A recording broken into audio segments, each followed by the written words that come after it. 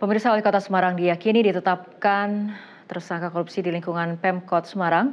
KPK juga telah mencegahnya ke luar negeri. Juru bicara KPK Tessa Mardika Sugiarto mengatakan surat larangan bepergian ke luar negeri dikeluarkan KPK 12 Juli lalu. Larangan bepergian ini berlaku selama enam bulan ke depan. Ada tiga dugaan korupsi di kota Semarang yang diusut KPK, yakni pengadaan barang dan jasa, pemerasan terhadap pegawai negeri atas pemungutan pajak dan retribusi daerah, dan penerimaan gratifikasi. Nama keempat tersangka memang belum diumumkan resmi oleh KPK, namun berdasarkan informasi yang dihimpun ada empat tersangka yaitu Wali Kota Semarang, Heverita Gunaryanti Rahayu, suami Alwin Basri, Ketua Gapensi Martono, dan pihak swasta Rahmatu Jangkar. Dan hari ini penyidik KPK menggeledah rumah dan kantor Wali Kota Semarang untuk mencari bukti kasus.